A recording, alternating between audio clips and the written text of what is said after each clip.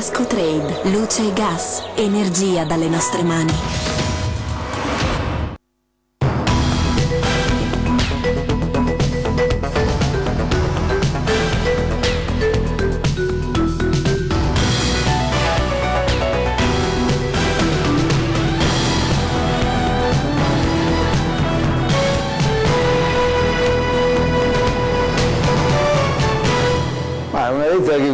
Messaggio politico eh, più che occuparsi di dati, cifre, dati economici. Siamo all'inizio, all'aurora di una nuova legislatura europea. Vorrei invitare tutti coloro che avranno compiti di responsabilità per quanto riguarda i vertici delle istituzioni europee a concepire questa come una nuova legislatura eh, rifondativa anche, ma in particolar modo vorrei trasmettere questo messaggio. Si eviti di concepire l'Europa solo come un mercato economico unico, noi dobbiamo recuperare un alto tasso di politica in seno alla prospettiva europea l'orizzonte che delimita diciamo, il piano di azione di questo governo è ben chiaro. In quel contratto di governo, a volerlo rileggere oggi con molta attenzione alla luce di quel che abbiamo fatto, di quello che stiamo per fare e quindi che faremo, c'è il programma di riforme più cospicuo, più organico, più sistematico e direi anche ambizioso che è stato mai concepito negli ultimi decenni in Italia.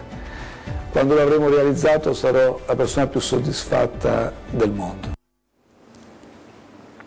E questo era il Presidente del Consiglio Giuseppe Conte, buonasera 21.17 sempre in diretta con Focus, ieri ascolti mh, non so, formidabili perché abbiamo parlato di, di residenza ai migranti, la questione dell'anagrafe ai migranti a Padova e poi la, il Gay Pride, le polemiche, eh, dibattito vivacissimo, abbiamo fatto un botto di ascolti, quindi grazie molte per averci seguito, fatelo anche eh, stasera. Stasera parliamo, mh, parliamo, di quello che sta accadendo tra il governo italiano e l'Europa. Il Presidente Conte, avete sentito, cerca di evitare la procedura di infrazione, ha mandato una lettera a Bruxelles, di questi tempi ancora si mandano le letterine, eh, quando abbiamo grandi tecnologie molto sofisticate, sta di fatto che ha mandato la lettera e che non è detto che l'Europa eh, scenda così a patti, anzi qualcuno dice ci sarà comunque questa procedura di infrazione perché i 2 miliardi di contenimento dei costi forse alla Commissione europea non bastano, non basta questo taglio e, e in ogni caso c'è polemica qui perché pare che eh, questi 2 miliardi saranno ricavati dai tagli ai servizi, quindi all'istruzione, alla sanità, ai trasporti no? e quindi questo scatena ovviamente comprensibilmente la rabbia di una buona parte dei cittadini. Da questo partiamo e eh, abbiamo messo nel titolo che in questa situazione di grande caos e di un'economia piuttosto disastrata eh, serve l'autonomia, o autonomia o morte, questo è il, nostro, è il nostro titolo di questa sera e oggi proprio parleremo dell'autonomia perché si sono fatti dei passi avanti. Vediamo la foto scattata oggi, proprio oggi pomeriggio, Salvini e Zaia sorridenti dopo le notizie arrivate dal Ministro Stefani che ha detto abbiamo incardinato l'autonomia in Consiglio dei Ministri, cioè questo testo finalmente è entrato in Consiglio dei Ministri e adesso inizia la fase più operativa e più tecnica, quindi non è ancora finita, ma insomma è un passo eh, importante in avanti. Allora vi presento gli ospiti di questa puntata, Paola Durastante, dirigente pubblico e presidente delle Donne Venete di Treviso, buonasera. Buonasera, buonasera. Giovanni Battista Mestriner, bentornato, l'ex sindaco di Scorzè. Buonasera. Grazie molte. Alberto Villanova, buonasera Villanova. Buonasera, grazie. Della Lega in Consiglio regionale, presidente della Commissione Cultura. Grazie molte. Francesco Potelli, economista, professore, Buonasera. bentornato, stasera Grazie. ne avremo di carne al fuoco. Franco Vescovo, imprenditore, buonasera, Buonasera, Vescovo, grazie buonasera. E anche i sindacati, perché noi ospitiamo sempre tutte le categorie. Bruno Guesten, Breda, RSU, Electrolux, c'è un accordo molto importante che di cui, parle- di cui parleremo. Allora, eh, io direi, eh, Fabrizio, partiamo dalla- dall'autonomia, direi, in vista anche poi di un incontro domani a Ponte della Priola con, eh, tra Zai e Toninelli. questa giornata sull'autonomia particolarmente importante, vi dicevo, vediamo il, il primo eh, servizio proprio sulle, sulle novità l'autonomia arriva in Consiglio dei Ministri perché fa bene all'Italia. Ce lo dice spesso però l'autonomia arriva al prossimo Consiglio dei Ministri, sono passati molti mesi, quindi c'è un problema di accordo politico. Diciamo che penso che adesso siano tutti più convinti rispetto a qualche tempo fa. Parte da qui la svolta sull'autonomia del Veneto, dichiarazione rilasciata ieri sera che ha rafforzato l'incontro di questa mattina del Ministro per l'autonomia Erika Stefani con il Premier Giuseppe Conte. Poco prima delle 13 il comunicato che sancisce come il tema sia incardinato verso il voto finale tra ministri prima che venga trasmesso alle Camere, sottolineando sottolineando però che ci sarà un ulteriore passaggio nelle commissioni parlamentari e questo se da un lato rafforza la serietà del percorso, dall'altro anticipa un ulteriore allungamento dei tempi. Comunque sia per il governatore dei Veneti è comunque una gran bella notizia. Bella notizia quella che c'è dal Ministro Stefani a seguito dell'incontro del Presidente del Consiglio Conte. Incardinare il provvedimento in Consiglio dei Ministri significa far uscire poi un testo del famoso accordo, dell'intesa, del contratto che si dovrà firmare tra il Presidente del Consiglio dei Ministri e il Presidente della Regione del Veneto. Ma bisogna tenere la guardia alta, sottolineano molti parlamentari a Roma, perché se ufficialmente tutto procede senza scossoni, in realtà la partita dell'autonomia è all'interno di un continuo scambio all'interno della maggioranza. E non sarebbe un caso se ieri sera la situazione si è sbloccata quando la Lega ha annunciato che avrebbe ritirato l'emendamento sul passaggio delle competenze dei fondi per lo sviluppo dal Ministero per il Sud alle regioni, ovvero dal ministro Pentastellato alla maggioranza dei governatori leghisti. E ancora, sempre stando ai retroscena romani, in questa bilancia tra il dare e avere, l'autonomia si intreccia sul caso Taranto, con la Lega pronta a sostenere il piano Di Maio, sempre più in difficoltà con gli ultimi sviluppi del decreto crescita. Tutti argomenti che tenderebbero ad eliminare i freni alle ruote del treno autonomista, voluto principalmente dai Veneti, e che ora aspettano solamente la firma. Grande lavoro e soprattutto il fatto che il provvedimento venga firmato e mandato in Parlamento sia un segno di grande rispetto nei confronti dei Veneti, in particolar modo di tutti coloro che sono andati a votare il 22 ottobre del 2017 per il referendum eh, per l'autonomia del Veneto. Ora c'è da aspettarsi un percorso in discesa per questo cambio epocale dell'Italia? Per i parlamentari che abbiamo interpellato non ancora, ma del resto ci dicono voi siete per lo più di montagna e le scalate, magari irti di difficoltà, non vi spaventano. Servizio di Lucio Zanato e le montagne che non eh, spaventano i Veneti eh, è un motto che vale anche per le Olimpiadi del 2026, vedete alle nostre spalle, io sto con Cortina 2026, lunedì 24, lunedì prossimo a Losanna, un giorno cruciale perché il CIO deciderà tra le due candidature rimaste, Cortina Milano e Stoccolma. Le prospettive sono molto buone, incrociamo le dita e fate di tutto, ha chiesto anche il governatore, per mandare sui social, eh, tweet, eh, post, insomma fate, fate sentire la pressione di un popolo che vuole assolutamente i giochi invernali nella perla delle Dolomiti. Allora, Alberto Villanova, partiamo io direi dall'autonomia. È una giornata importante, si è sbloccato qualcosa, che sì, cosa è successo? È una giornata sicuramente importante, a noi era già arrivata, arrivata voce insomma, da, da, da Roma che qualcosa si stesse muovendo e effettivamente dopo quando abbiamo visto questa mattina il comunicato stampa del, del ministro Stefani eh, abbiamo visto che le, le, cose si stavano iniziando a muovere.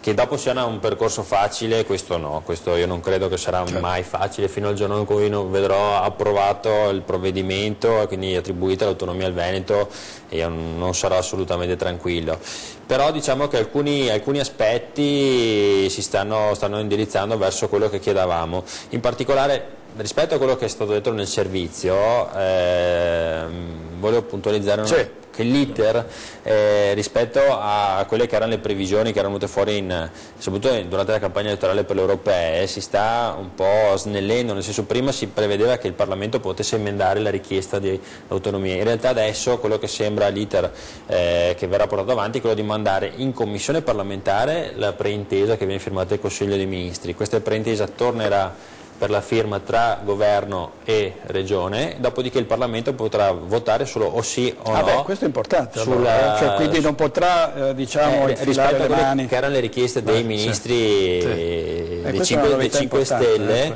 adesso sembra che il percorso dell'autonomia abbia una via un po' più, più snella perché sicuramente è diverso farla arrivare nelle commissioni rispetto a farla arrivare in aula del Parlamento certo. e quindi questo è un qualcosa che ci, ci incoraggia. La guardia va tenuta assolutamente alta non va abbassata la pressione nei confronti dei eh, nostri diciamo, interlocutori di governo perché sappiamo che c'è qualche resistenza, l'abbiamo letto dai giornali anche oggi, insomma, eh, il Ministro Costa, il Ministro Grillo della Salute, della Sanità, il Ministro Toninelli sono i, i tre principali ministri che hanno alcune obiezioni, però abbiamo visto che rispetto a qualche settimana fa queste obiezioni stanno diventando molto, sì. molto più, più, blande. Dopo, dopo, il voto in particolare. Dopo il voto eh. sì, anche perché immagino che insomma, la, la, il segnale da, da, dagli elettori sia arrivato abbastanza chiaro, forte e chiaro, soprattutto in Veneto e nelle regioni dove, dove c'è stata questa richiesta di autonomia.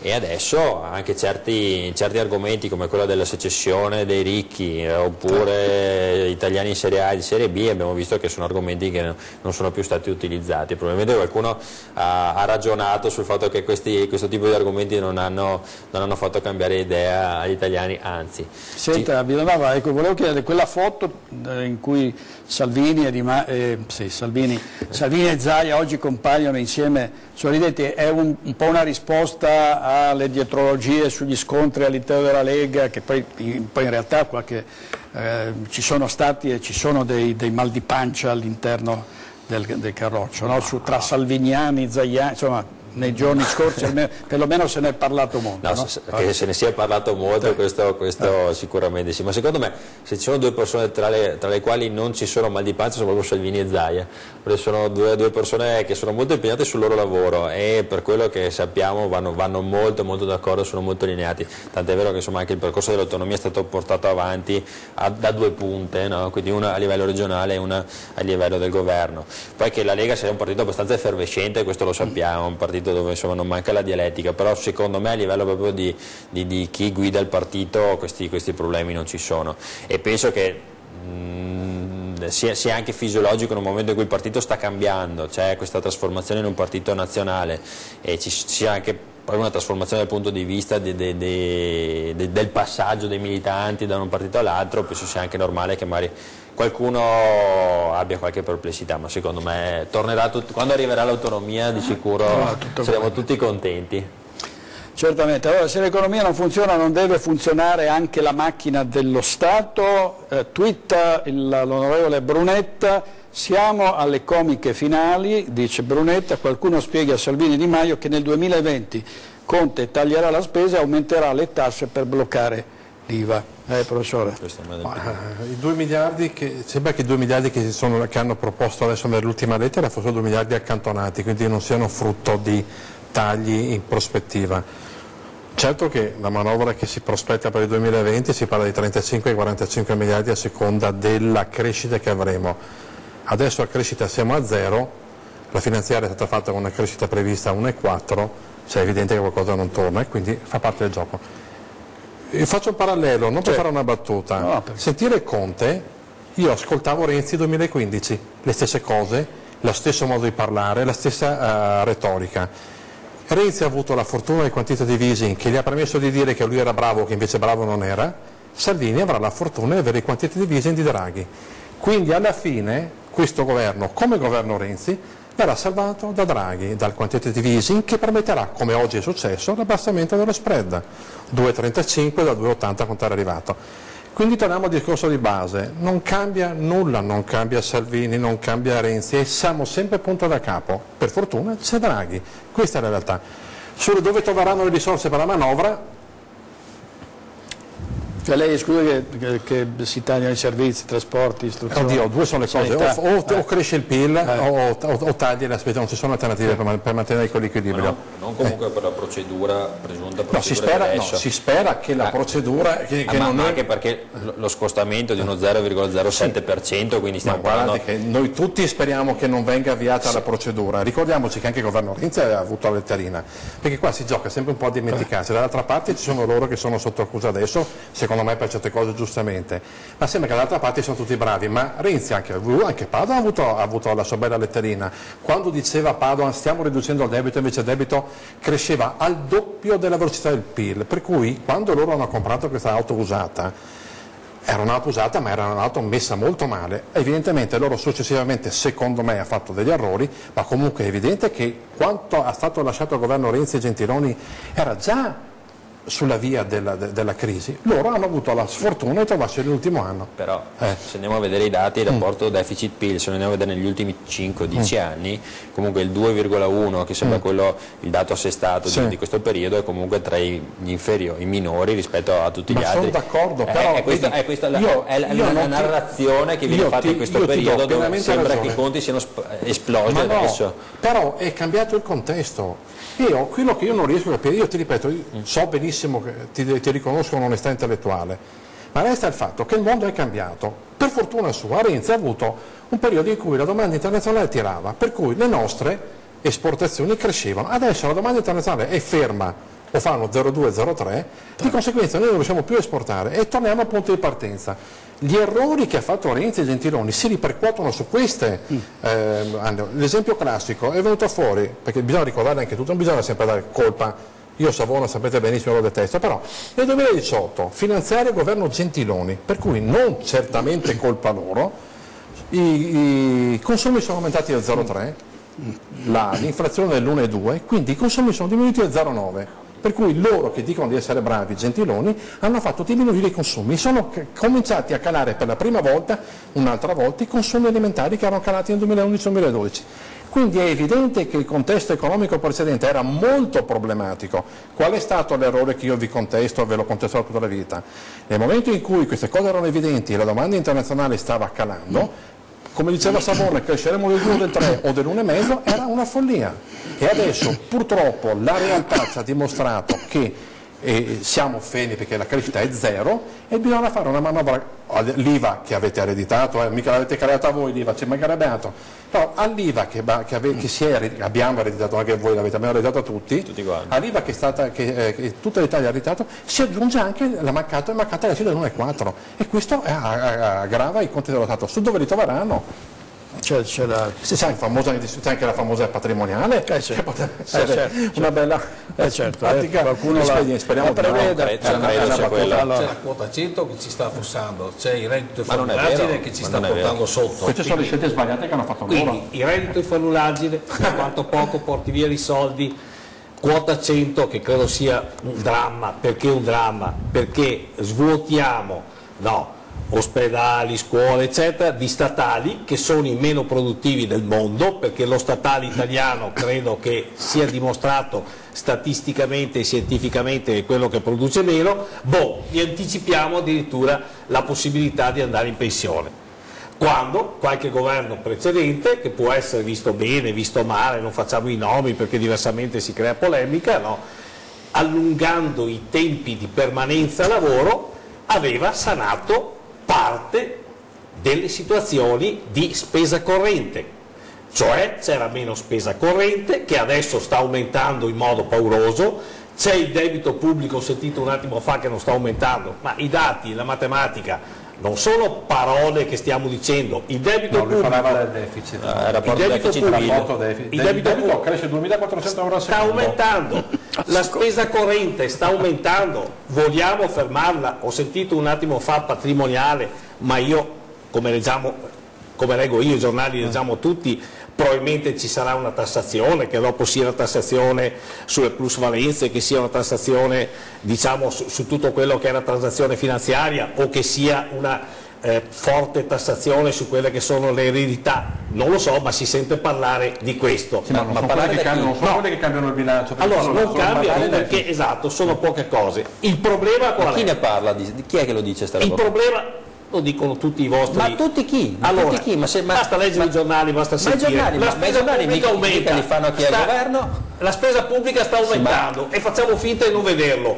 Stiamo andando sì, verso una situazione mi, di indebitamento, stiamo andando verso una situazione di spesa corrente Stiamo andando verso una situazione che non parliamo mai di risparmi, mi, parliamo mi, di spesa. Mi. Parliamo di spesa. Il bilancio, il bilancio, dello Stato di 800 Io sto parlando miliardi. di matematica, no, no, sto parlando di numeri, io, non sto parlando di politica che non mi interessa. Io sto parlando, sono stato invitato a parlare di numeri. Sto e dico quello che penso, ma quello che penso su un contesto di numeri, su eh. qualcosa che la matematica che mi è vicina, no, mi dà conforto perché io parlo posso, di matematica, io di parlo numeri? di numeri posso parlare di e numeri? quindi il debito pubblico sta aumentando, la spesa corrente sta aumentando, cosa vogliamo fare? Posso I redditi fanno un'agile continuare? Posso vogliamo ancora continuare posso la quota 100? Allora, allora Il bilancio dello Stato è circa 800 miliardi di euro, giusto? La spesa per quota 100 e per il reddito, I redditi di cittadinanza è circa un miliardo e mezzo. Un miliardo e mezzo e un miliardo e mezzo. Quindi mi vuole, mi vuole dire che i 3 Però sono miliardi... stati fatti a debito. No, so- ma tutti, tutti le, le- Ma questo è il problema. Ma, ma allora, quello che allora dice lui, professore, permetta. ma no, ho capito, no, no, ma quello- no, ma per- permetta un Però, secondo. però arriviamo poi a, a- alla... dobbiamo andare anche Allora, alla eh, il fatto di sostenere fare. il mercato interno, come che i consumi, Sì. lo puoi fare anche dando a dare comunque più disponibilità a chi non ha disponibilità. Indebitandoti? giusto? Ma eh, Ancora tu- di più? tutte le manovre vengono fatte in deficit, ok? Ma abbiamo il, debito Italia- pubblico in più alto d'Europa. Sì, ma in Dobbiamo Italia, capirlo in questo Italia che ci porta... qualsiasi manovra. Allora, se noi andiamo a vedere quelli che sono i dati economici degli ultimi anni, tutte le riforme sono state fatte in deficit, ma deficit molto superiori a questo. Perché era 2,5, 2,8 e compagnia. Ma c'era il PIL che cresceva. Ma c'era Il problema logico, è ma- che l'economia Ma- aveva una velocità Ma il superiore. discorso. Sì, Guarda ma il Savona ma ne il ha PIL detto- cresceva. Savona ne ha detta una di giusta, Ma l'ha quindi- detta ma quindi- effettivamente. ha detto se noi vogliamo dare sostenibilità, lasciamo perdere il discorso Adesso dell'Islanda andiamo è una avanti, però, follia. eh. Quando lui ha detto "I- bisogna che il debito cresca meno del PIL. Noi siamo nella situazione inversa, noi abbiamo, ma non da adesso, da Renzi, il debito che cresce più del PIL. Di conseguenza, come diceva giustamente il meditore, noi stiamo andando, lasciamo le ultime vostre, eh, che io ho sempre giudicato disastrose, sono l'ultima goccia di un percorso che è stato fatto degli errori, noi non possiamo pensare di essere in questa situazione per colpa vostra. Ma no, Siete qua da un anno. Per Adesso sta peggiorando. possiate essere. Allora, scusate, dobbiamo andare avanti. vent'anni che va così. Andiamo avanti, i profughi africani li trovi alle entrate dei supermercati per dire buongiorno, io mi chiedo, sono partiti dall'Africa per dirmi buongiorno, che futuro avranno? L'ex sindaco di Scorzè, Giovanni Battista Mestinè, sindaco, la- eh, si può dire che un po' chi, chi di, di- di- di spada ferisce, di, di spada perisce, nel senso che noi, eh, l'Italia diciamo, in questa fase è stata molto aggressiva con l'Europa, no? nella speranza che poi l'Europa cambiasse. Adesso siamo a Conte che va in Europa col cappello in mano a chiedere che questa procedura di infrazione non venga varata. no? Non è, non è un problema né di cappello in mano né di, né di rapporti di forza. Qui ehm, eh, c'è un sistema che non funziona più, il sistema europeo e ormai lo stanno eh, dicendo tutti, non solo eh, i sovranisti italiani. E il sistema non funziona perché eh, si sono create delle regole rigide su un'economia invece estremamente mobile, eh, su un'economia internazionale che sta cambiando mese per mese, con dei stravolgimenti incredibili che possono essere dietro l'angolo su tutti i nostri ragionamenti, perché gran parte dei ragionamenti che facciamo è su un quadro internazionale fermo. Il quadro internazionale non è fermo. I rapporti per esempio di forza fra gli Stati Uniti e la Cina non sono rubette da poco, soprattutto con noi che in questi anni abbiamo puntato molto anche su quei mercati. Allora ci troveremo o potremo trovarci in situazioni comunque di difficoltà. Allora l'Europa non è duttile, ha delle- degli schemi, ha delle regole, ha delle, eh, ehm, delle impostazioni eh, che eh, nel chiuso di un, eh, di- di un laboratorio oh, chimico dove ehm, tiri via tutte le variabili e, rimangono, e lavori su due o tre variabili, sì, il giochetto può funzionare. Oggi non funziona, ma non funziona non contro l'Italia, non funziona in generale per l'Europa, perché anche la situazione tedesca paradossalmente, lo abbiamo letto sui giornali anche questo ultimamente, non è, non è mm, meravigliosamente splendida, ci sono delle difficoltà enormi e vanno a colpire anche situazioni che nel mercato europeo, dentro il mercato europeo ci sono. Allora qui la questione è semplice, noi siamo in mezzo al guado, abbiamo da un lato eh, una moneta ma non abbiamo uno Stato, abbiamo eh, delle regole fisse ma non abbiamo un sistema politico che possa adeguare queste regole europee alle esigenze cambiate. Allora, questa situazione determina il fatto che qui questa- questo meccanismo esplode, esplode con l'Italia esplo- oggi, esploderà domani con eh, qualche altro Stato, non importa, esplode. Esplode perché una moneta prevede che dietro ci sia una politica e dietro non c'è una politica. Invece- ci sono invece stati nazionali che si combattono tra loro in nome del loro interesse nazionale. Allora, vogliamo che ci sia una moneta unica? Occorre ci sia una politica unica, popolare, democratica, decisa con delle elezioni, dove il voto di un italiano valga come quello di un greco o valga come quello di un tedesco, mentre oggi ci sono i tedeschi, i francesi che va, per X motivi i loro governi valgono di più e quello che loro decidono riescono ad imporlo ad, un'Europa asfitica, quindi c'è tut, tutto da rivedere. In questo tutto da rivedere, adesso io voglio particolarmente bene al nostro Presidente del Consiglio Conte, ma a volte fa delle dichiarazioni sembra Alice nel Paese delle Meraviglie e ci dice ma eh, sì, cioè, eh, comincerà la legislatura della rifondazione, all'inizio anno aveva detto questo sarà un anno memorabile, eccetera.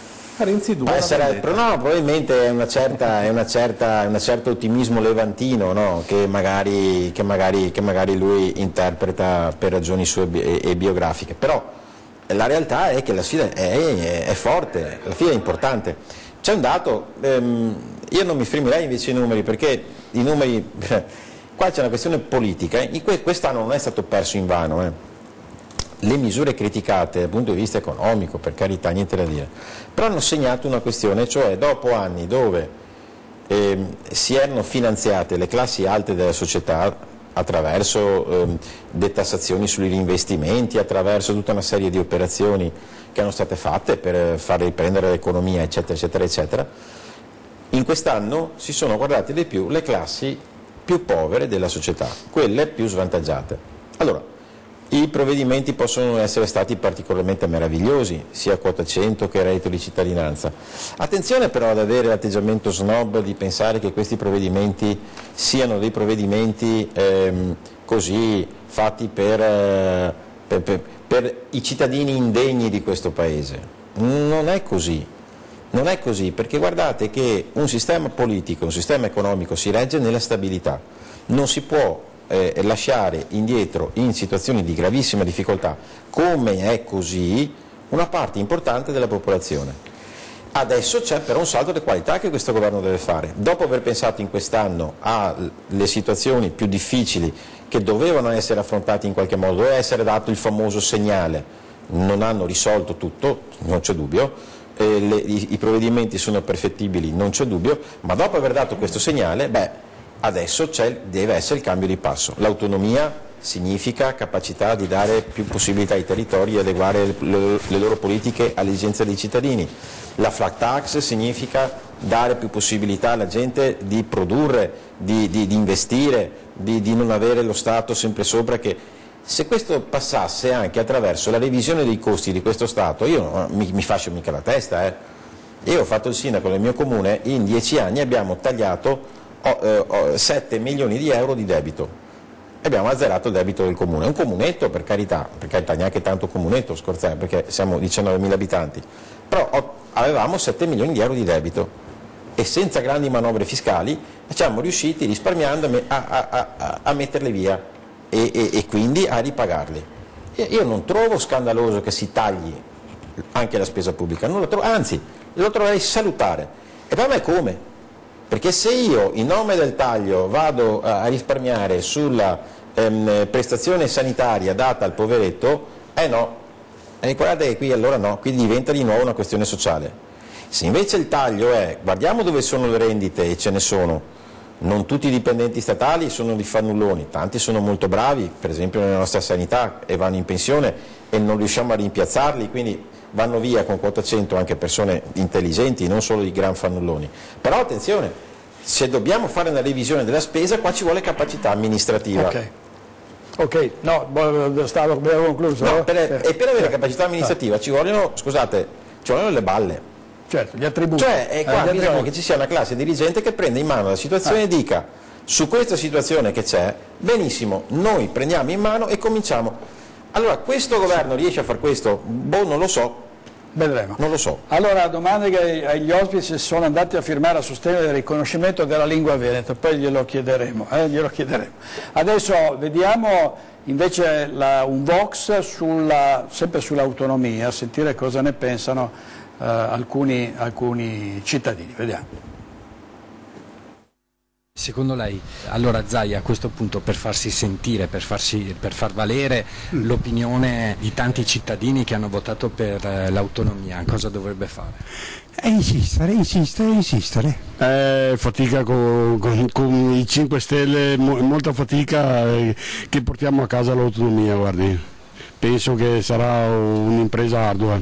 Zaia penso che possa fare poco, e dovrebbe più che sia Salvini lì eh, parlare chiaro con i 5 Stelle o se no interrompere tutto e basta, è inutile continuare in queste condizioni, non si raggiunge nessun scopo. No, non c'è altro da fare. La cosa migliore secondo me è quella di assecondare quello che sono adesso le esigenze del governo, perché se mettiamo insieme eh, altra carne sul fuoco credo che poi la cosa possa essere non più governata bene. Battere i pugni sul tavolo? Non lo so, Do- dovrebbe farsi ascoltare di più dal governo, non so neanche io. Che modo? Non lo so, non ho la più pallida idea. È una partita difficile. Esatto, la partita è molto difficile se nessuno tiene conto anche del referendum che è stato fatto, evidentemente non ci siamo. Non ci siamo perché? Non ci siamo perché il popolo non è ascoltato. Allora se il governo non ascolta neanche quello che fa, che il popolo dice, non ci siamo proprio. Il governo deve rispettare la volontà dei cittadini. Eh, deve anche lui attendere eh, a livello nazionale cosa verrà deciso, nel senso che da una parte è giusto che il Veneto abbia autonomia, da un'altra bisogna anche che non ne perda qualche, qualche vantaggio il resto del, delle regioni italiane. Allora, ehm, di chi era il servizio? Non ho, non ho sentito. Ah, di Nicola Marcato, Nicola Marcato con interviste cittadine. Allora, prima di, di sentire dell'Electrolux eh, con Bruno Westenbredas, lei cosa ne pensa della situazione di questo caos ma politico e istituzionale in questo momento davvero una situazione difficile in rapporto a, quelle, a quella che è la situazione delle, delle imprese, no? Breda? No, no pensavo ah, avesse, prima di parlare dell'Etros pensavo parlasse così. No, no, no, era, era per, era per lei. Il caos. Eh, io preferirei parlare di questioni concrete perché eh. io penso che un paese quando eh, ha difficoltà a creare un, diciamo così, eh, aspettative positive, ha bisogno, secondo me, di finanziare delle attività, di essere proattivo e di accompagnare l'economia. Lo fa in parte eh, le imprese oggi che investono in automazione, innovazione tecnologica ricevono più del 50% di quanto investono in aiuti di Stato. Ecco, sembra però che su questo ecco, uno dei tagli eh, sarà, potrebbe in essere verità, gli incentivi in verità su questo ci sono eh. posizioni diverse, eh. ho letto eh, impegni precisi assunti dai ministri di questo governo, di tutti i colori, dei due colori che ci sono, che hanno detto che rinnoveranno questi investimenti. È uno dei problemi. Se tu tagli ciò che permette al Paese di stare al passo con i cambiamenti di innovazione, ti poni un, problem poni un problema di prospettiva. Io la vedo così. E c'è un controaltare, perché l'innovazione tecnologica, che, che, se ne dica, è vero che produce un mutamento dal punto di vista delle eh, professionalità che servono all'interno delle imprese, ma riduce complessivamente il lavoro disponibile. Ciò che fanno le macchine, soprattutto oggi queste questo cambiamento che non è solo di automazione, che questa è da anni che c'è, ma è un'automazione che produce, diciamo così, intelligenza, ragiona in qualche misura e trasforma.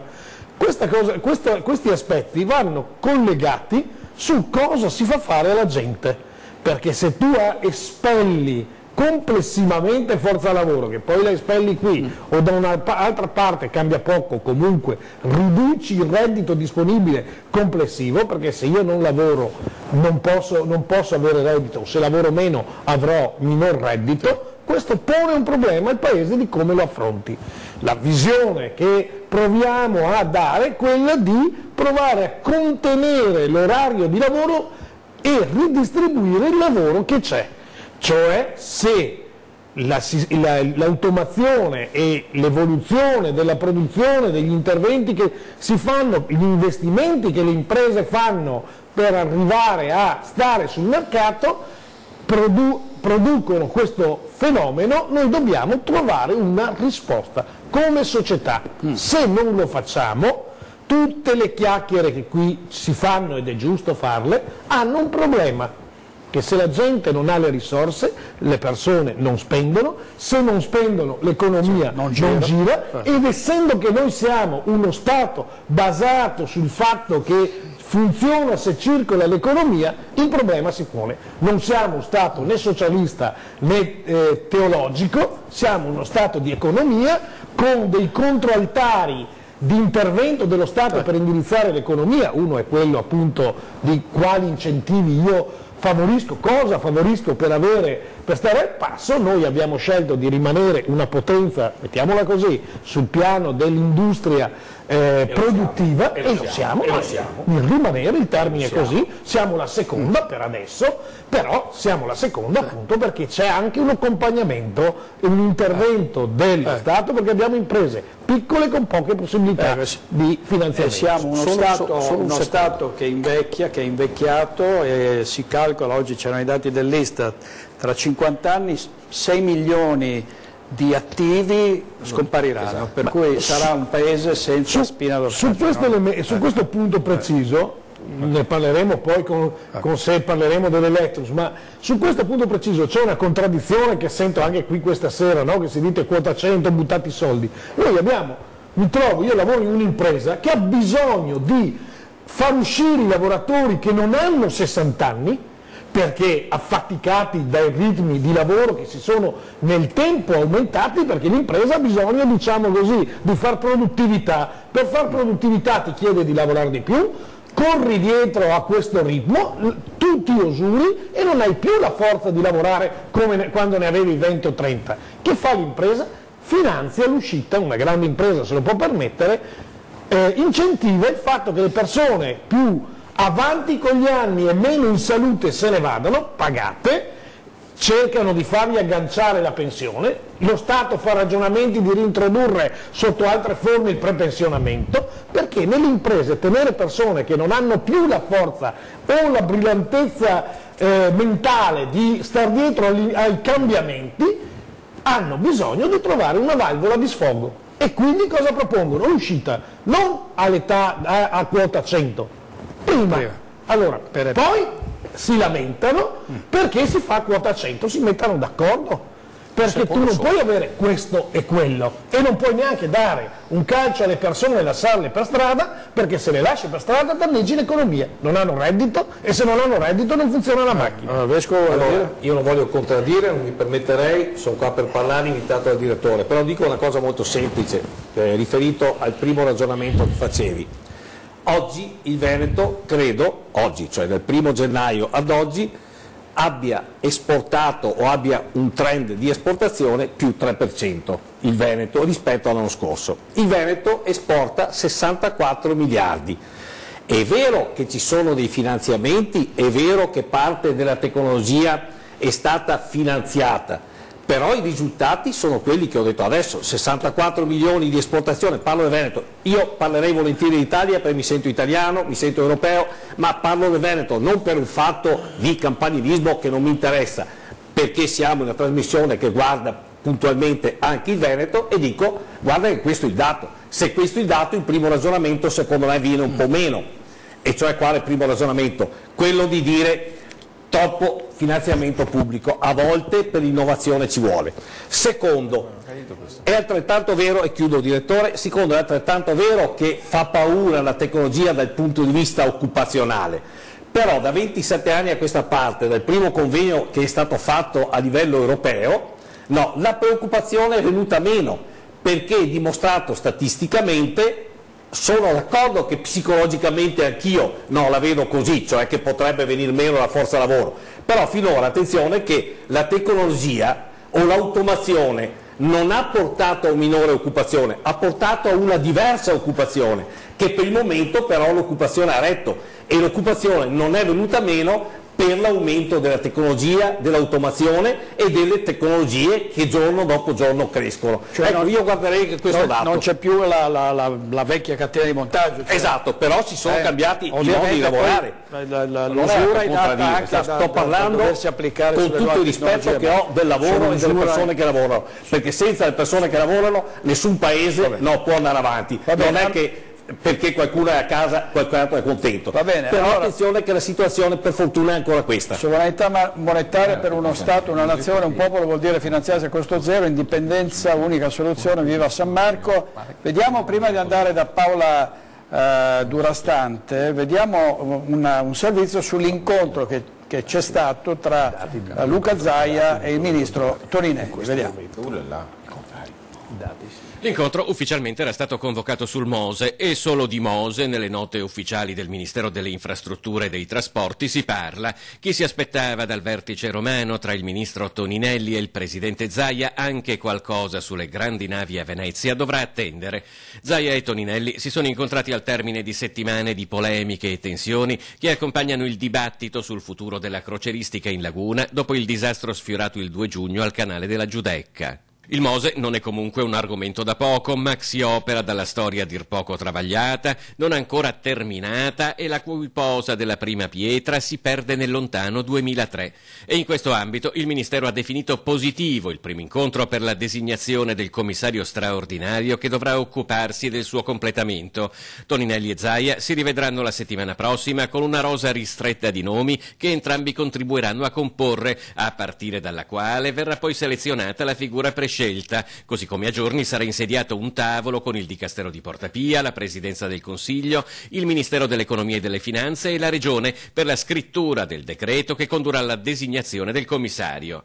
È estremamente probabile che, come peraltro aveva ipotizzato prima dell'incontro lo stesso Zaia, la questione grandi navi sia stata perlomeno accennata, ma qui le posizioni tra Ministero, Regione e Comune di Venezia appaiono meno vicine ad un accordo, divise tra le ipotesi di deviazione a Chioggia o a Marghera, posizioni che meriteranno più di un confronto prima di arrivare ad una sintesi in un ambito in cui l'accordo è solo sul punto di partenza, basta passaggi a San Marco e alla Giudecca. L'unico punto diciamo, eh, condiviso è quello, dopodiché sulle grandi navi c'è una- un grosso scontro, come sapete tante soluzioni ancora alle viste, Toninelli che gira in elicottero e poi eh, va a vedere e vuole portarle a Chioggia. Allora Paolo Durastante, eh, lei, lei eh, rappresenta, diciamo, presidente delle donne venete Sì, di sì, Treviso. la mia associazione di donne di Treviso, Donne Venete di Treviso, che faccio parte da vent'anni e ho sostituito da, da poco la presidente storica che è Silvana Morena, che lei è la presidente delle donne padane nazionali, quindi io sono una parte delle, delle donne padane. Insomma. Cioè, non, è, non è veneta, si sente Non da- sono veneta, dall'accento, però 40 anni vive, vive- vivo nel vive- Veneto, vive qui. però io ci vivo bene perché è una gran bellissima regione, ho, ho, mh, ho diretto anche degli uffici in Abruzzo, quindi so anche vivere in una regione un po' più diversa. E- Senta, come, la- come- come valuta questa, questa situazione anche, anche rispetto alla politica locale? No?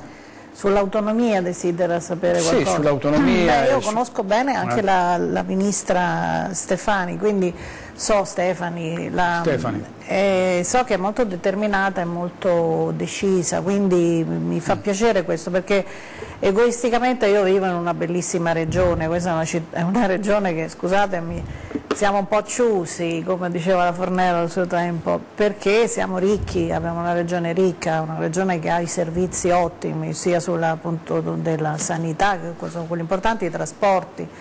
E però eh, scendendo un po' in Abruzzo si sente molto la differenza di- e quindi io, io penso che gestirsi l'autonomia in Abruzzo sia, sia un po', un po' difficilotto, mentre il Veneto è preparato. Certo che le 23 materie da, da doversi ereditare, adesso ne abbiamo, ne abbiamo 5, 8, non, non so, sono abbastanza complicate anche perché le materie di- vogliono anche una struttura e vogliono anche i soldi da doversi gestire, quindi non so quanto questo, sono curiosa di vedere questo, com'è sarà questa autonomia.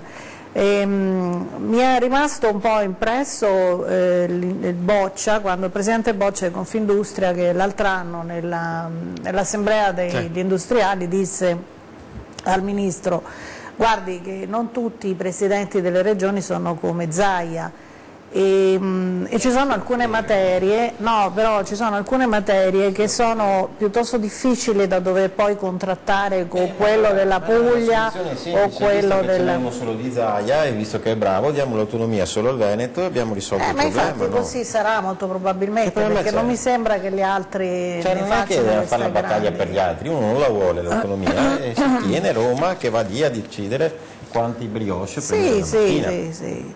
E quindi io sono curiosa di vedere, certo però parlo anche come dirigente perché purtroppo sono anche da questa parte, spero di andare con quota 100 il più presto possibile che sono stanca. Beh, sicuramente le mancheranno 50 anni. No caro, me ne mancano pochi, ma io vorrei andare tranquillamente anche in, in salute, insomma, perché voi non vi rendete conto che cosa significa fare un dirigente nello Stato, insomma, ne vedi di tutto e di più. Dicevi- diceva il sindaco del taglio delle spese, io gli dicevo così, dico guarda vedo tante duplicazioni di funzione, quindi se ci fosse magari ecco, una regia su questo, eh, di, di come gestirsi proprio lo Stato, di come riformulare le competenze dentro lo Stato, questo sì aiuterebbe molto eh, questo- tutte queste spese inutili che noi siamo costretti a fare in sostanza. E poi per il debito pubblico io sono d'accordo, forse controcorrente, a fare in modo che si, si cancelli, si abbassi questo debito pubblico. Possibile che soltanto Prodi sia riuscito a farlo una volta e noi non riusciamo ad abbassare Abbiamo ancora. avviato la più grande campagna di privatizzazione dopo la Thatcher. Ha venduto tutto quello che c'era da vendere. Eh, ma- lo spread ci- Purtroppo l'ha venduta agli amici, quindi non abbiamo preso tanti fatto soldi. Prodi aveva qualcosa da vendere, adesso cosa vendiamo? Ma guarda, io so, allora, vendiamoci anche il Colosseo, però basta da finire questa storia che noi dobbiamo andare col cappello in mano diciamo, tra- ci trattano male in quel di, del, in, eh, in Europa, i soliti francesi, i soliti tedeschi di cui io non è che ami proprio così tanto. Sarebbe anche ora che noi mettiamo mano finalmente a questa storia di questo debito pubblico, quindi se si tratta di pagare le tasse, però al momento lo dobbiamo pagare tutti, mica soltanto i fessacchiotti come me che pagano con il loro stipendio il 40% delle tasse. E quindi vabbè, mi scusate il mio che mi, mi perché poi Benissimo. ho tutti i vari, No, no, va bene, va le varie cose. Allora facciamo come in America, chi evade va in galera, bastano le carceri Ma non- non italiane. niente, Oggi Di Maio galere. ha detto uno dei, dei punti da, da raggiungere è quello proprio dell'evasione fiscale, no? Eh. Eh, Villanova. Sì, dopo cioè, sull'evasione fiscale ogni volta si parla del Veneto come un, viene, la, la solita narrazione, il Veneto è una delle, delle regioni dove si evade di più, in realtà dopo si guardano le statistiche, il Veneto è la seconda regione per eh, diciamo... 17 eh, e 4 contro assieme alla Lombardia siamo il, pa- il paese che per- la regione Delle che percentualmente evade meno. Esatto. È chiaro, lo evadi su un, un PIL molto più alto, Beh, chiaro, ma però- percentualmente però se- se si va a vedere- meno, esatto, è vero. Soprattutto il nord-est, l'area del nord-est è l'area che assolutamente meno, che evade meno in. Italia. Dopodiché Ci sono, paesi- ci sono regioni che evadono l'80% del PIL. Sì, soprattutto la Calabria, Sicilia, Calabria, quella zona lì, però guarda caso la narrazione che passa sempre nelle medie nazionali è che i veneti sono un popolo di evasori, cosa che non è, non è assolutamente vera. Poi bisogna vedere anche perché per quello che riguarda l'evasione ci sono sempre delle grandi proiezioni, no? poi se andiamo a vedere quelle che sono le stime dell'Agenzia delle Entrate di quello che riesce a introitare ogni anno con l'evasione sono molto più basse rispetto a, a quello che viene, che viene percepito. Quindi eh, si dice sempre bisogna aumentare la lotta all'evasione, bisogna aumentare la lotta all'evasione, però dopo alla fine quello che si riesce effettivamente ad, a- ad avere è poca, poca cosa. Poi bisogna vedere che effettivamente ci sono delle situazioni dove si va magari a, contestare al panettiere Certo. che, non, che non batte lo scontrino e dopo però ci troviamo dei miliardi che vanno all'estero, miliardi di euro che vanno all'estero e riescono a rientrare grazie, grazie agli scudi fiscali. Cioè, ci sono delle situazioni abbastanza, abbastanza contorte. Però eh, posso tornare brevemente sull'autonomia. No, certo, certo. Eh, sentivo la signora che diceva eh, chiedere 23 materie, dopo bisogna saperle gestire, ma no- noi ci assumiamo questa responsabilità di chiederle, chiediamo che ci vengano dati i soldi e la responsabilità cosa vuol dire? Che noi diciamo Stato tu spendevi questo questo per, darci, per dare le 23 materie.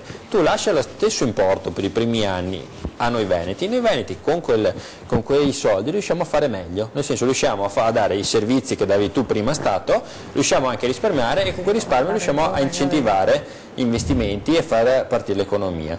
Tutto quello che arriva di extragettito, cioè quelle que, quell'economia in più che si crea, una piccola parte vogliamo anche tenercela tenercela per poter incentivare l'economia veneta. Cioè, questa è la richiesta di autonomia che stiamo facendo allo Stato. È prevista dalla Costituzione, cioè, eh, se le altre regioni si sentono in imbarazzo, non sono sicure di riuscire a farcela, no, fanno a meno di chiederla. Adesso ci sono 12 regioni che hanno fatto una richiesta di autonomia. Il bello di questa parte di Costituzione cosa dice? Che no, non tutte le regioni devono chiedere per forza le 23 materie, ognuno chiede quello che si sente. L'Emilia Romagna ha fatto una richiesta molto più limitata rispetto al Veneto, la Campania idem, altre regioni ancora meno, però noi ci sentiamo in diritto, visto che lo prevede la Costituzione, di chiedere tutto quello che è previsto dalla Carta Costituzionale. Adesso il Parlamento, secondo me, visto che c'è stato un referendum con una larghissima maggioranza, con un quorum raggiunto, 2 milioni e 328 mila persone che sono andate a votare a favore di, questo, di, questo, di questa autonomia, il Parlamento adesso deve trovare, logicamente è difficile perché la prima volta che si applica una riforma del genere, che può essere una riforma epocale che finalmente può cambiare anche la struttura di questo Paese, perché finalmente si, va, si può dare, come dicevo prima, responsabilità ai territori, cioè toglierlo da, dallo Stato e portare più vicino al cittadino, responsabilità vuol dire amministrare con accortezza i fondi, vuol dire eh, avere quella che è l'attenzione del padre di famiglia perché le cose vadano bene, perché si usino bene i soldi, quello che lo Stato ha dimostrato non negli ultimi anni ma da sempre di non riuscire a fare. Questa è l'autonomia e, e, e, quando io sento parlare di secessione dei ricchi, eh, serie A e serie B come dicevo prima, io vorrei dire che la serie A e la serie B, oppure le, le situazioni disastrose, lo Stato già diviso in due, perché di fatto è già diviso in due, è arrivato senza le autonomie regionali. Cioè, il Sud è in questa situazione senza le autonomie regionali. Ce l'abbiamo già in sostanza. È già così. La sanità della Campania, che è disastrosa, della Calabria, dove non si chiudono i bilanci, è in questa situazione senza l'autonomia regionale del Veneto. Allora cosa vuol dire? Vuol dire che avviciniamo ai territori per chi sa fare e magari quelle che sono le buone pratiche che vengono portate avanti in Veneto si possono anche trasferire al resto d'Italia con calma magari, con calma perché ci vuole anche la volontà di portarle avanti. Non e so se fa si trasferire a mai in Veneto. Però, però noi, intanto, noi, intanto, ci portiamo a casa queste competenze e le gestiamo. E dopo se gli altri vogliono imparare bene, però intanto noi portiamo a casa per quello che è un risultato per il Veneto. Allora, gli unici che hanno disatteso le aspettative, affamato e tolto diritti al popolo italiano sono i comunisti italiani ed europei. Ha vinto alle elezioni europee un seggio, eh, la Alessandra Moretti, ex consigliere regionale ehm, e adesso da europarlamentare propone che quello che era un po' il suo avversario in lista, cioè Achille Variati, ehm, diventi, si candidi a Presidente della Regione del Veneto alle prossime elezioni. Vediamo. Le prossime regionali del 2020 saranno una sfida molto difficile e impegnativa per il centro-sinistra e il Partito Democratico, il quale si confronterà a partire dai circoli, dai territori, nella segreteria eh, su chi potrà portare avanti questa, questa, battaglia. Credo che tra i nomi e le personalità da individuare quella di Achille Variati sia una tra le più autorevoli. Achille Variati in campo dal 1984 ha svolto più volte e bene la funzione di sindaco, è stato consigliere regionale, presidente eh, delle province eh, d'Italia. Ecco, credo che sia anche una persona che conosce bene il territorio e che conosce bene le problematiche da sottoporre in una campagna elettorale così impegnativa. Penso per esempio all'autonomia, è vero che oggi è stata incardinata, ma penso che proceda troppo lentamente rispetto agli annunci che lo stesso governatore aveva fatto. E poi abbiamo di fronte un governo, quello giallo-verde, eh, che inchioda il Paese sulle beghe interne, sulle liti tra Di Maio e Salvini, anche e soprattutto in termini di sviluppo economico e sviluppo infrastrutturali. Non dimentichiamoci che in Italia sono bloccati oltre 600 cantieri che impediscono al nostro Paese di essere competitivo anche a livello europeo. Ecco che allora il Partito Democratico e magari con Achille Variati potrebbe essere eh, quel partito, quello schieramento in grado di mettere seriamente in difficoltà il governatore Zaia. Allora, Mestriner, cosa ne pensa di questa eh, intemerata della... È una, è una un esponente politico veramente interessante, è intelligente, capace, una veramente che rappresenta il territorio, che ci vuole tanto bene. Però? E, Adesso arriva il però. Arriva il però. No, non è il però, è che siamo tanto generosi, cioè avere coltivato una stella della politica che per la prima parte della sua vita poveretta era reclusa in quel di Vicenza e adesso è diventata una, una star internazionale, addirittura in Parlamento europeo, e credo sia comunque una grande opportunità per, per lei, sicuramente eh, molto meno per noi.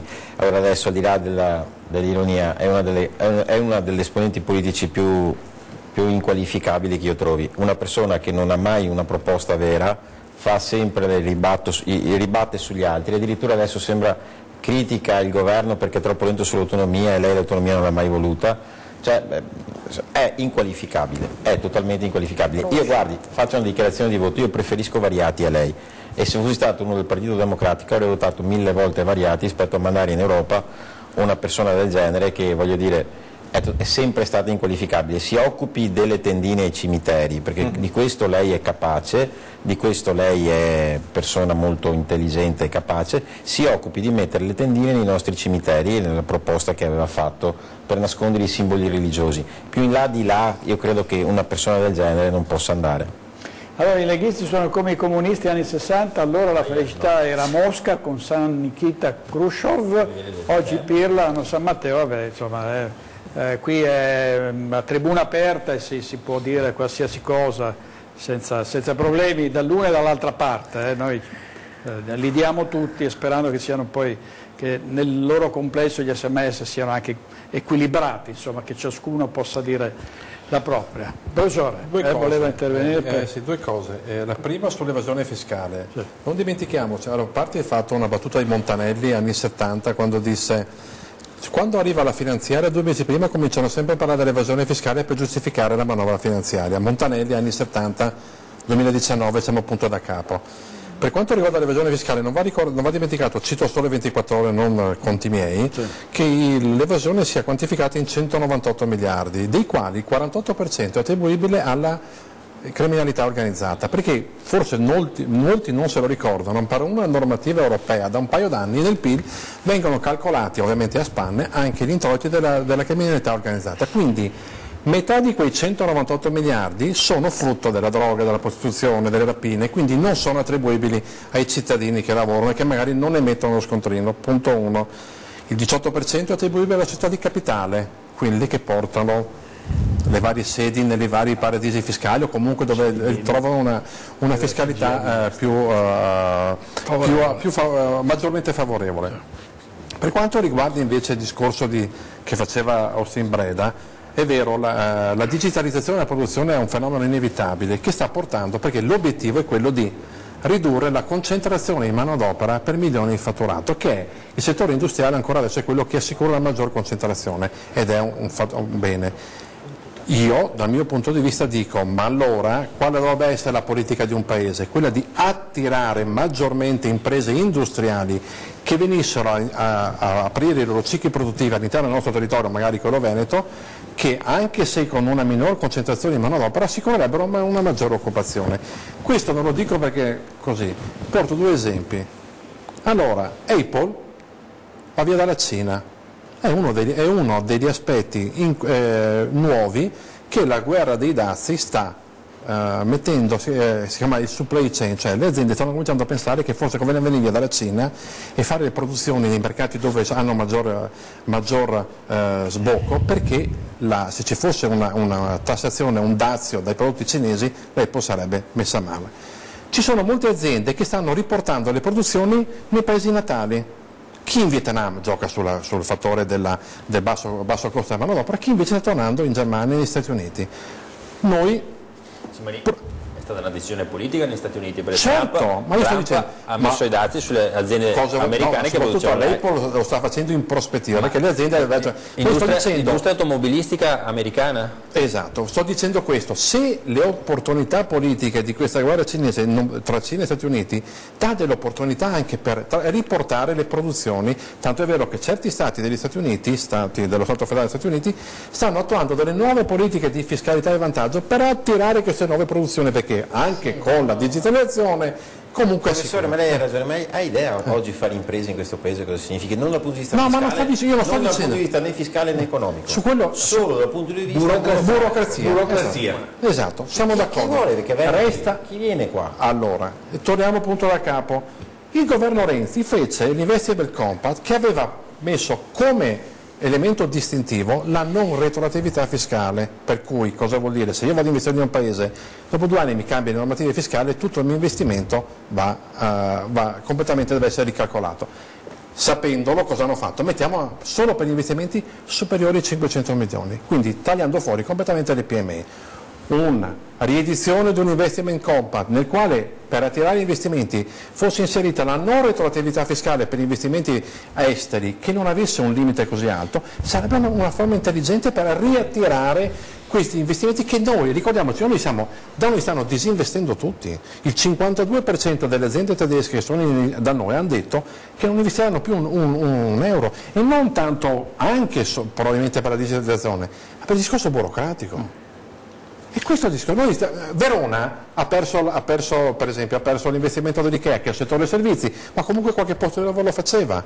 E la- L'Arena che doveva, e questa è la vecchia gestione, che doveva raddoppiare il proprio stabilimento dei polli, dei polli congelati, che pochi lo sanno, noi siamo leader in Europa, io non lo sapevo, ha aspettato due anni. Due anni, ma due anni vuol dire 150 persone che per due anni percepiscono uno stipendio e danno ricchezza, pagano tasse.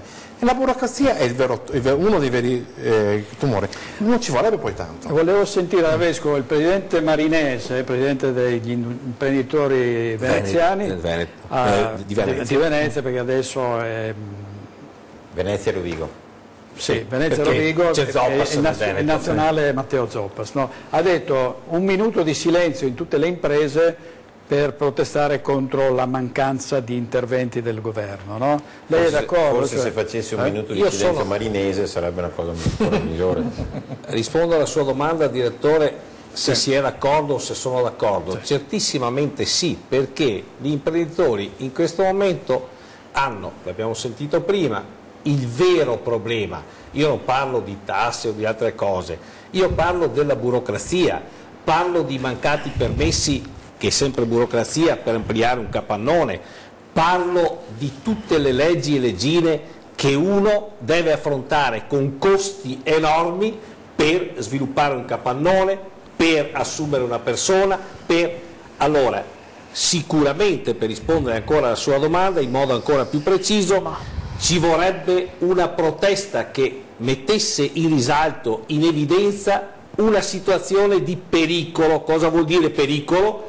Pericolo vuol dire che le imprese si stanno stancando, avevamo avuto da quattro anni a questa parte un ritorno in patria, chiamiamolo così, nel nostro bel paese, di aziende che avevano delocalizzato. Quanto? Probabilmente i dati parlano del 19-20% di aziende che sono ritornate, che prima delocalizzavano per spendere meno, perché la manodopera costava meno, eccetera, ma se noi facciamo un confronto, minor costo della manodopera, ma minori spese di logistica, minori spese di trasporto e tutto il resto, alla fine si pareggia, con un vantaggio di portare a casa nuovamente parte delle imprese o le imprese o parte delle persone che sono andate a lavorare fuori. Qual è il vantaggio? Che la capacità, questa non è teoria, questa è certezza metodologica, matematica, eccetera, che la capacità di fare qualità di prodotto come l'italiano ce l'ha nessuno.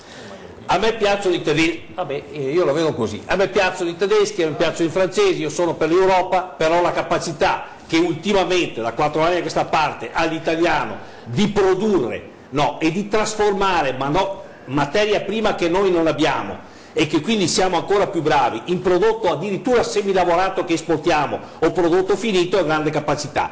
Grazie a questa grande capacità le aziende al 20% stanno tornando indietro. Burocrazia, Questo è il freno, perché le capacità le avremo, il freno è la burocrazia e non parlo di tasse, parlo di mancati servizi, parlo che se uno non paga domani mattina no, non credo che ci sia la possibilità di farsi pagare perché sappiamo come funziona la magistratura o i tempi lunghi della magistratura.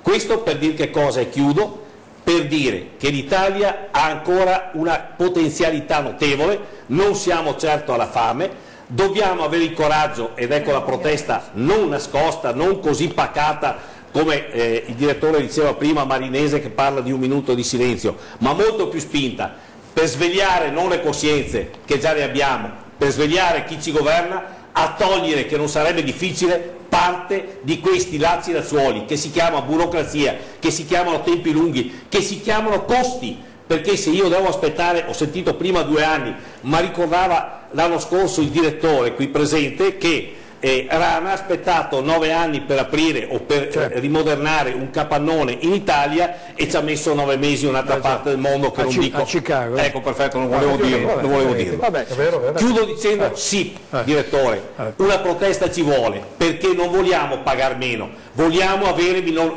burocrazia e spendere meno per questa burocrazia. Sì. Allora, tantissimi sms arrivano sui migranti, eh, sulla questione Sea-Watch.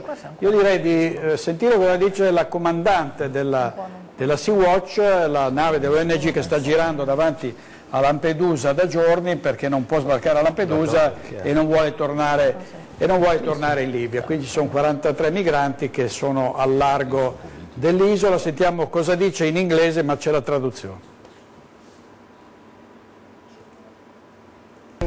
Here in front of Lampedusa since Friday the 14th with now 43 rescued people on board.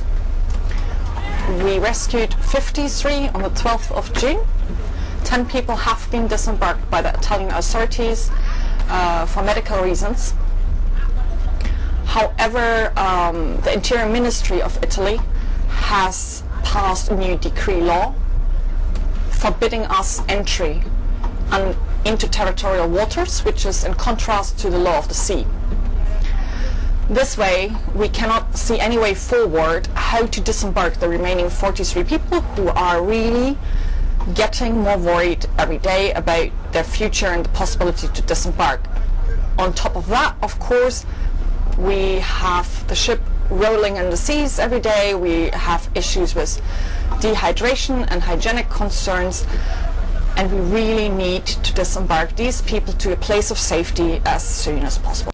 Allora, Paolo Durastante, se fosse eh, il Ministro degli Interni, come si regolerebbe rispetto a questo? No? Salvini ha, ha, avuto un grande consenso proprio per la, per la, riduzione dei flussi, per la chiusura dei porti, perché ha, ha detto chiaro e tondo, qui non si approda più, andate in altri, in altri, paesi, per esempio qualcuno dice perché non vanno in Tunisia dove non, ci sono, non ci sono porti insicuri, sono sicurissimi, però lì la Tunisia comunque non li vuole e nessuno dice niente, invece se, se l'Italia si esprime eh, per diciamo, porre fine a, questa, a questo arrembaggio che dura da anni, allora tutti contro l'Italia, lei come la pensa?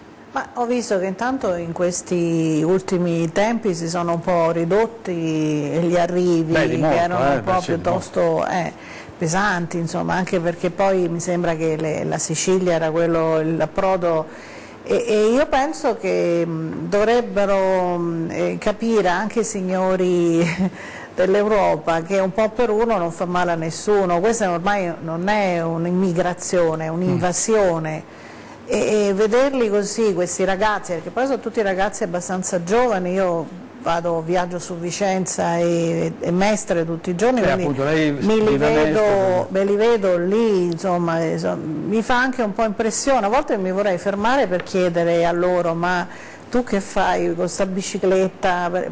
Poi li vedo ogni tanto spacciare lungo nel campo Marzo, là che è davanti alla stazione e mi fa un po' impressione. Sinceramente una regola c'è bisogno, e fa un po' le, le, la, la, forza di, di, Salvini, un po' questo muso duro che ha deciso di mettere, ma d'altra parte fare troppo il buonista, si è visto che cosa abbiamo prodotto, insomma un'invasione vera e propria. Noi eh, io non so, non sono egoista, non sono così razzista da poter capire, anche perché ho lavorato in un'altra amministrazione ed ero molto vicina alle persone così emarginate, però mi fanno paura sinceramente, così tanti.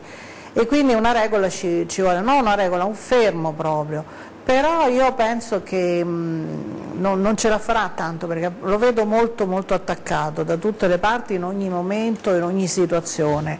Invece che cercare una, una soluzione in comune si pensa di attaccarlo così pesantemente e ci sta rimettendo anche abbastanza eh, con questi procedimenti, con questa magistratura che poi l'avete visto ha, ha, ha, sequestrato la nave, poi gliel'ha ridata, quindi non vorrei che anche questo fosse uno spiraglio che si apre e così arriveranno di nuovo. E, ehm, forse sarebbe bene anche aiutarli a casa loro, ma in che modo? Questa è una politica che deve fare un po' l'Europa, visto che siamo uniti tutti, tutti, insieme appassionatamente, dobbiamo anche trovare una soluzione uniti e tutti, eh, tutti insieme. Certo che comunque per le nostre strade, non so se, se voi, io l'altra sera ho preso, ho preso, la strada, ho preso la macchina, sono andata in via Piave dove abito, alla fine e, santa pace, mi sembrava di stare a Casablanca, cioè, vedevo un gruppo di persone di colore che stavano dappertutto, insomma, cioè, mi fa un po', mi fa non dico paura perché insomma, però un po' impressione sì, mi sembra di stare in un'altra in un'altra città, insomma, sento parlare questo, queste lingue così diverse, i profumi anche diversi delle loro, delle loro cucine e, e, e sembra di, di, perdere un po' quell'odore di cipolla, sento più quelle, quelle spezie pesanti, cioè. certo. quindi ecco che posso dirle di più, secondo me fa bene, ecco punto. Va bene. allora, la cipolla. la cipolla. In Veneto abbiamo Massimo Riundi che mi remano, che mi remano contro. Allora, abbiamo, uh, Fabrizio, cosa avevamo, uh, cosa avevamo ah, sì, c'è una bella storia dei, di, di, carabinieri, di alcuni uomini dell'arma, anzi due uomini dell'arma che hanno salvato uh, delle persone che stavano veramente rischiando di annegare, no? poi li si chiama carabinieri eroi, loro ovviamente si scherniscono, non vogliono essere definiti così, però tutti coloro che hanno assistito a questa impresa la ritengono un'azione memorabile. c'è anche una testimonianza, vediamo. Un pomeriggio lungo le rive del Piave per combattere il caldo di questi giorni doveva essere l'occasione per trascorrere qualche ora in allegria, tra giochi, riposo e bagni, ma si è trasformato in un incubo. Uno dei ragazzini del gruppo di amici, un tredicenne, decide di andare a fare il bagno. In quel momento le acque del fiume sono basse e tranquille, ma all'improvviso il livello si alza, la corrente diventa più violenta e il bambino viene trascinato via. La mamma non ci pensa su due volte e si getta in acqua. Nel frattempo il figlio sospinto dall'acqua riesce ad uscire e a mettersi in salvo, ma nello stesso momento altre due ragazzine, controllando la situazione, cadono in acqua. Uh, sono stati presi anche loro dall'acqua, una si è incastrata con la mano tra i sassi, sono tornata indietro, per fortuna ho visto la mano e l'ho staccata, l'ho lasciata scivolare perché non potevi trascinarla, la, la potenza dell'acqua era era talmente grande. Intanto un anziano di fronte alla scena getta un asciugamano nell'acqua per fare in modo che Marinella vi si aggrappi, ma anche lui cade. Ma è stato, guarda, non so come vivere quel momento là, vedere tante persone che che possono morire è stato veramente un incubo. La situazione è drammatica, ma sul posto arrivano due carabinieri. Due angeli, veramente due eroi, che non hanno guardato nemmeno, cioè, come spiegarmi, non hanno pensato un attimo a loro stessi, si sono buttati in acqua che era sempre più alta a salvare questa bambina e in seguito l'anziano. Non so come hanno fatto a uscire fuori perché veramente scenate da incubo. Vanno premiati questi ragazzi, sono veramente dei eroi. È difficile fare una roba che, che loro hanno fatto, è difficile, veramente difficile.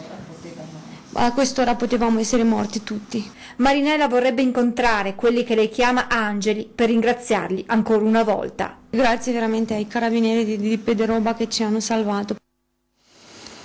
Servizio di Daniela Sizia, se non ho sentito male, eh, vediamo un titolo sul Corriere del Veneto e parleremo tra pochissimo, dopo la pubblicità, morì dopo aver rifiutato la chemio, condannati a due anni i genitori, era stata plagiata, la madre dice lo rifarei, questa bella ragazza che eh, aveva deciso di non, eh, di non curarsi con la chemioterapia.